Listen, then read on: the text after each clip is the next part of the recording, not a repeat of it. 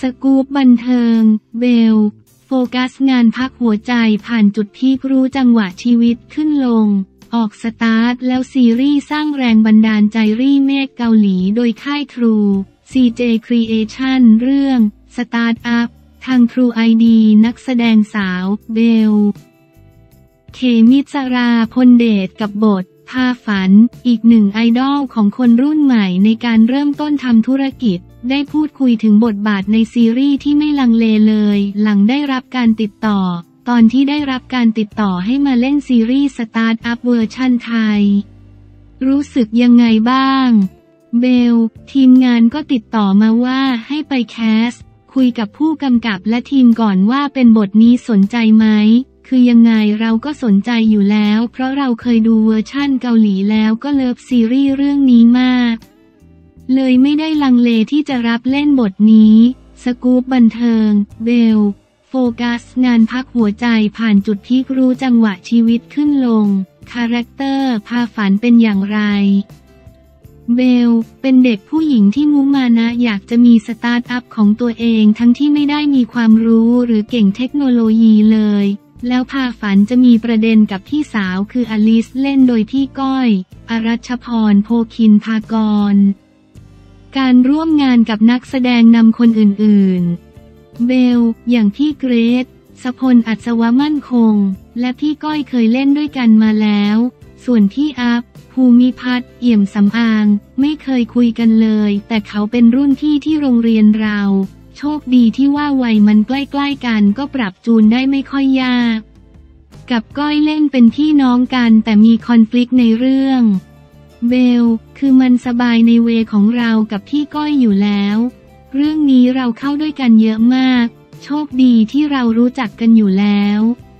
รวมถึงมีเคมีบางอย่างที่บอกว่าคนนี้คือพี่เรา เราไว้ใจเขาและเขาก็ไว้ใจเรา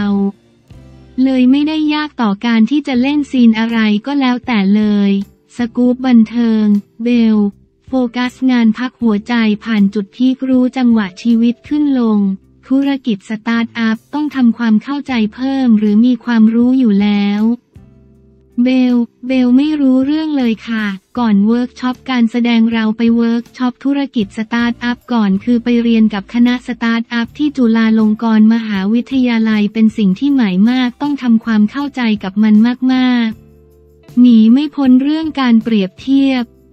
เบล ตอนที่ประกาศจะมีรีเมคมีคอมเมนต์มากมาย เริ่มเครียดทั้งที่ยังไม่เริ่มต้น แต่พอได้ทำเวิร์กช็อปเริ่มถ่ายได้คุยกับผู้กำกับ และ acting coach ได้เจอทีมงานที่ตั้งใจทำงานนี้ เราก็ไม่ได้กังวล มันเป็นเรื่องปกติของซีรีส์รีเมคจะต้องโดนเปรียบเทียบ ยอมรับว่าในเวอร์ชั่นเกาหลีทำไว้ได้ดีมาก เราก็เปิดรับทุกคอมเมนต์ที่เหลือหลังจากนี้ก็ต้องให้คนดูเปิดใจดูซีรีส์สตาร์ทอัพในเวอร์ชั่นไทยกันเยอะๆค่ะ สกู๊ปบันเทิง เบล โฟกัสงานพักหัวใจผ่านจุดพีครู้จังหวะชีวิตขึ้นลง ดูเหมือนเงียบๆแต่งานเพียบเหมือนกันนะ เบล คืองานมีมาเรื่อยๆ แต่อาจจะยังไม่ได้มีเรื่องไหนที่เปรี้ยงปร้าง แต่ว่าก็ดีใจที่คนยังนึกถึงเราเรื่อยๆ มันเป็นจังหวะเวลาของแต่ละคนคือที่ผ่านมามันเคยมีเวลาของเราไปแล้ว คนเรามีขึ้นก็ต้องมีลง เลยไม่ได้กังวลอะไรเราก็คงยังรักในการแสดงต่อไป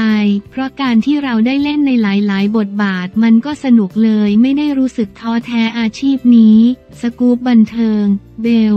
โฟกัสงานพักหัวใจผ่านจุดพีครู้จังหวะชีวิตขึ้นลง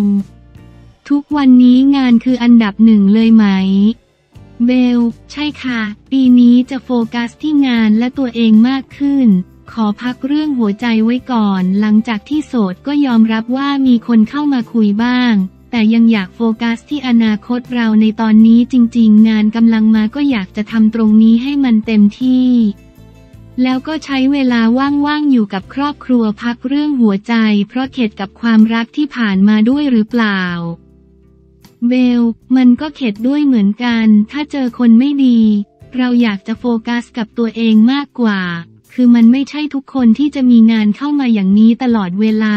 ช่วงไหนที่เราสามารถคว้าโอกาสมันได้ก็อยากทำมันให้ดีที่สุด สกู๊ปบันเทิง เบล โฟกัสงานพักหัวใจผ่านจุดพีครู้จังหวะชีวิตขึ้นลง กับเบลในเวอร์ชันนี้มีมุมมองความรักยังไงบ้าง เบล เบลคิดว่าชีวิตตัวเองมีหลายเรื่องอยู่แล้ว ฉะนั้นคนที่จะมาต้องเป็นคนที่ไม่นำภาระหรือสิ่งที่มันจะกระทบจิตใจเรา เลยอยากคบกับคนที่เรารู้สึกสบายใจ และเข้าใจความเป็นเรามากที่สุดค่ะ จิรนัท จงประสบมงคล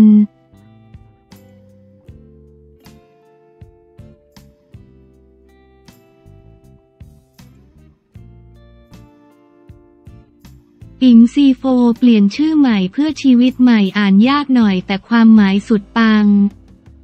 ปิงซีโฟเปลี่ยนชีวิตใหม่เนื่องในโอกาสขึ้นปีใหม่ เปิดศักราชใหม่ 2567 ตัดสินใจเปลี่ยนใหม่หมดทั้งชื่อจริงและชื่อเล่นจากเดิมชื่อเล่นปิงเป็นนดานดา ชื่อจริงสุภรดาเป็นทรตนนธนตะนนนดา โพสต์แจ้งข่าวผ่านเฟซบุ๊กส่วนตัว พร้อมกับอธิบายความหมายไว้ว่า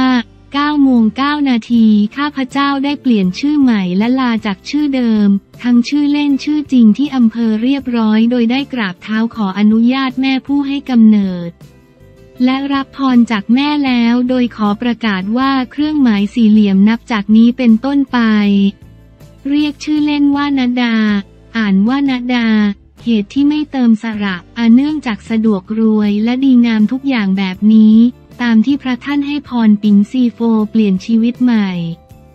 ชื่อจริงลาจากสุภรดาเปลี่ยนเป็นทรตะนนธนะตะนนอ่านยากแต่เชื่อว่าข้าพเจ้าจะเป็นผู้หญิงที่งามทั้งกายและใจ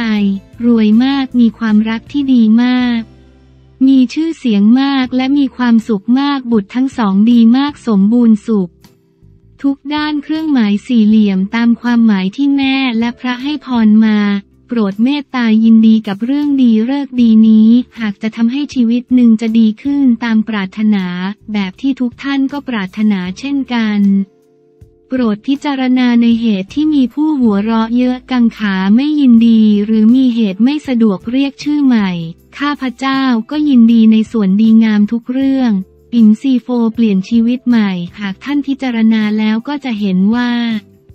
แม่ผู้ให้กำเนิดเป็นผู้อนุญาตให้ใช้ชื่อใหม่ด้วยตนเอง ท่านลองยิ้มยินดีกับสิ่งดีๆ ที่จะเกิดขึ้นกับเพื่อนมนุษย์คนหนึ่ง เพียงเพราะเขาอยากมีชีวิตที่ดีงามแบบเราท่านแค่นั้นเอง ปิงซีโฟเปลี่ยนชีวิตใหม่